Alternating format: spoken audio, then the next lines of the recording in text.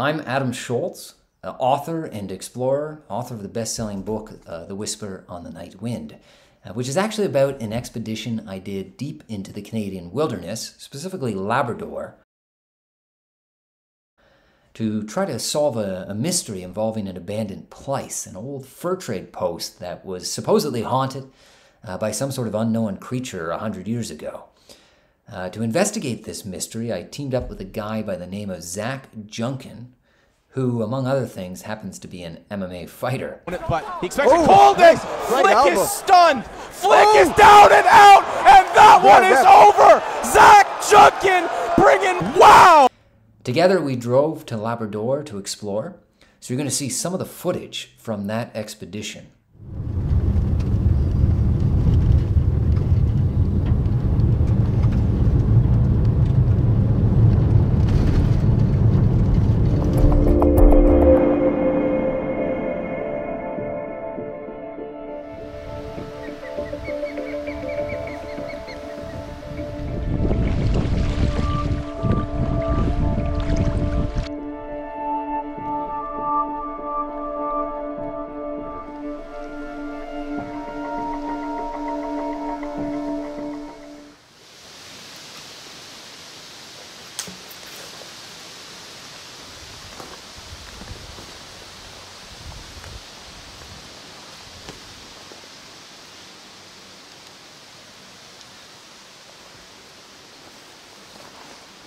Spider web over here. Look at this.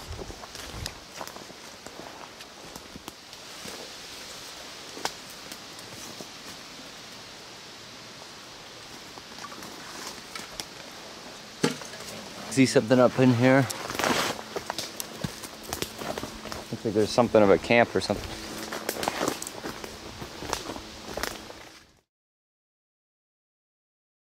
We found a skull.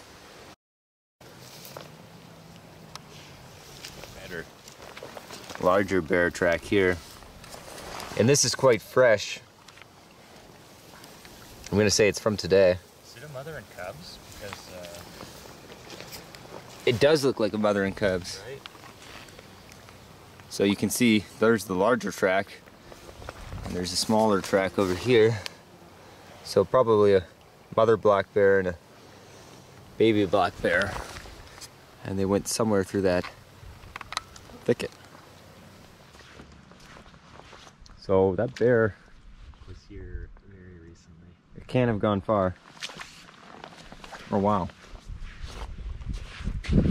In the mud over here, two different creatures moved through here. These giant ones are moose tracks, and you can see how big that is in comparison to my hand.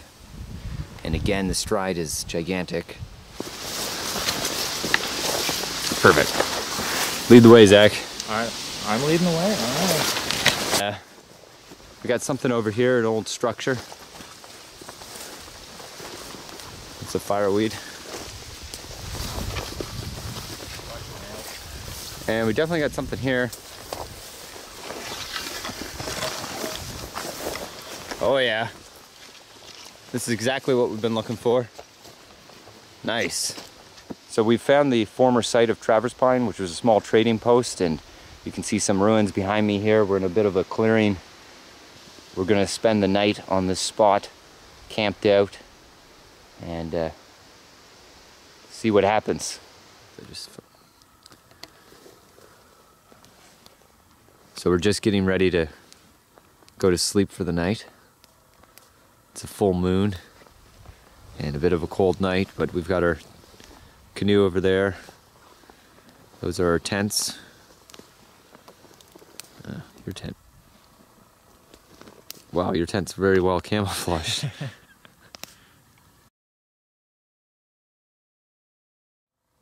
it's a full moon tonight. You can see it through the trees there.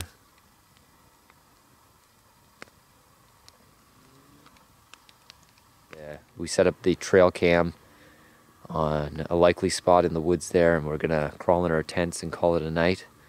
And it's a pretty pretty interesting and a little eerie to be on this site where uh, that notorious incident happened 100 years ago. Zach, do you have any thoughts? I'm uh, let's see what happens. I'll tell you, we'll see if anything uh, comes out of here. So we'll try to get some sleep. I don't know if we'll get any or not. You said you would sleep like the dead. It was an interesting metaphor.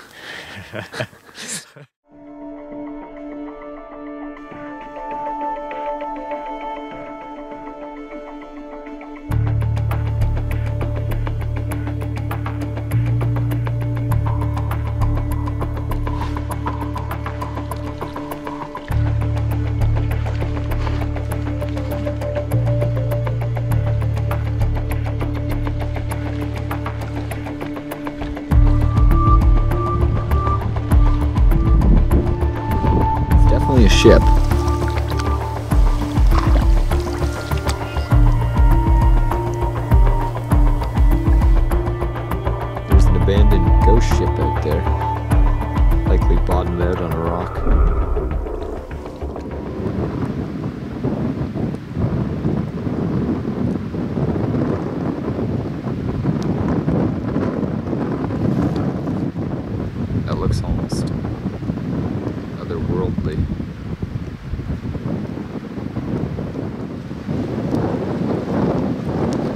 Made camp here. The sun is going down. It's a windy night, so we've got our tent secured as well as we can. Uh, that's salt water behind me here, and uh, if the wind dies down tomorrow morning, we should make it to the mouth of the river, and then we're going to head upriver into the mountains and see if we can find any caves.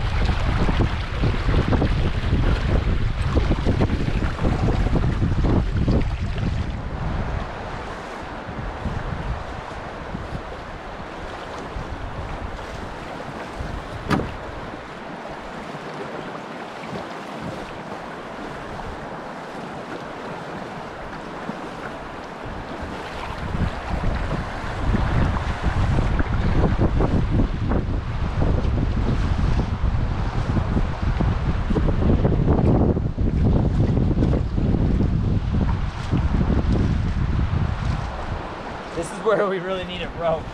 Yeah. I can see how you lost a toenail.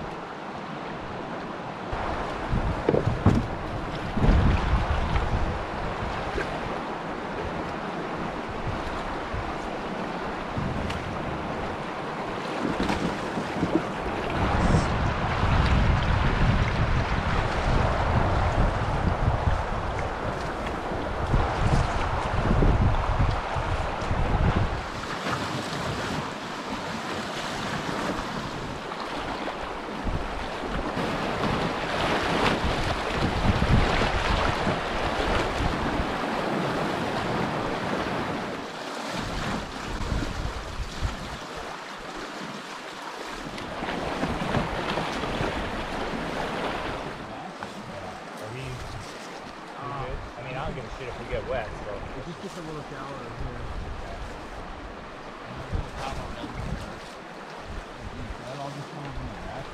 Uh, yes.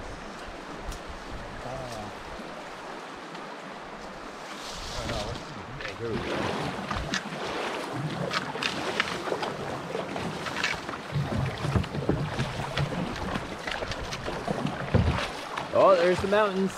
Fuck yeah. okay. That wasn't so bad. Nope.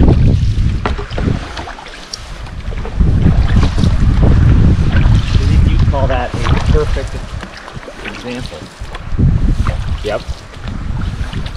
It's still alive, therefore perfect. And we got where we needed to get to. Wow, you're glass half full kind of guy. I like it. We're just making camp here on this bank and we found some fresh uh, bear tracks, but we don't have anywhere else to camp because the whole area is kind of uh, mudslides and then just chest high raspberry bushes. But here's a fresh bear track right there.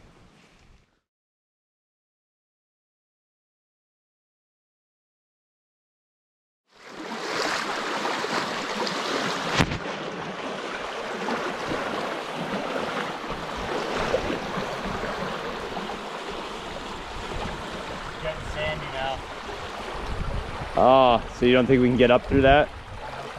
All right, maybe come back here then. We can get in here.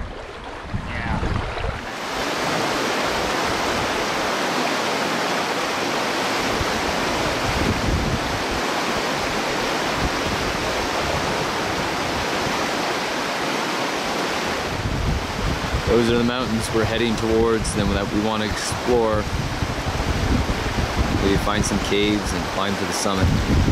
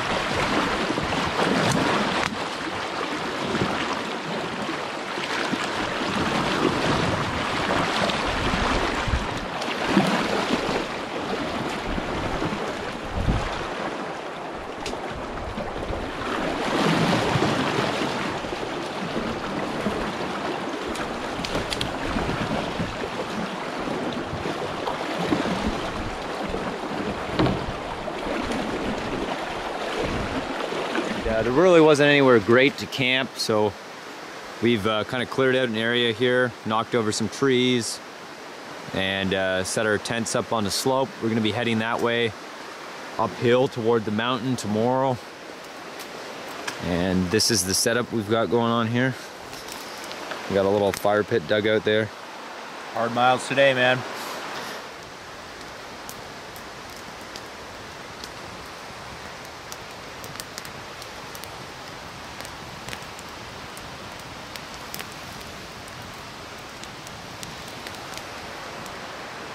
It was a pretty hard day of battling upriver. Uh, we spent a lot of the time in the water waiting and dragging the canoe behind us because there were so many rapids. And uh, this is as far up the river as we're going to go. From here, it's all on foot. And we're going to head up the mountain and see if we can find any caves and try to get to the summit.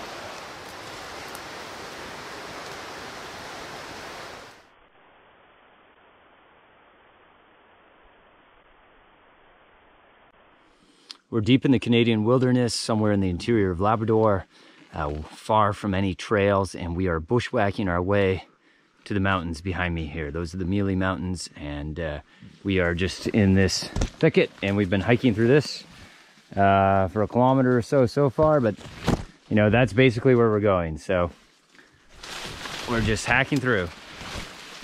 No trail. And my GPS batteries are dead, so we're just mostly navigating with the sun. Oh, I just fell through to a stream. Oh, okay, got a bit of a soaker. That's where I fell in. Very hard to see where you're going in here.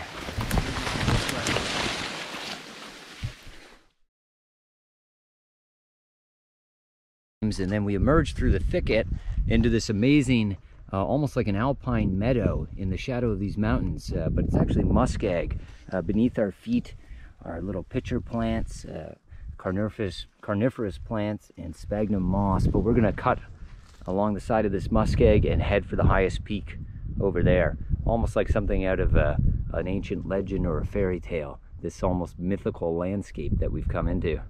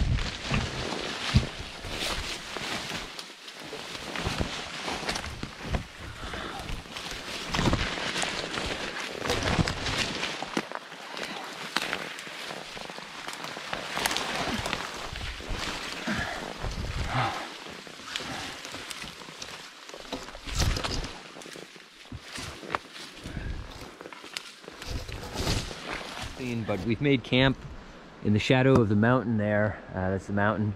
And uh, we made camp in here. Hopefully a tree doesn't fall on us. We've got a fire going over there to try to dry off some of these bugs. We just found a little pond back there in the woods, which is where we're gonna take uh, water from, but we've been eating blueberries and lingonberries and crowberries and some uh, gooseberries or currants. And now I gotta get my tent set up here. But uh, as you can see, the train was pretty rough. Uh, yeah, so we're gonna be in rags by the time we get through this thing. We're working our way up the mountain slope here and we just came across some fresh bear crap. You can see it down here. It's pretty massive. Thoughts? Seen lots of uh, big sets of dropping, so it'd be interesting to see just how big these bears are. Uh-huh.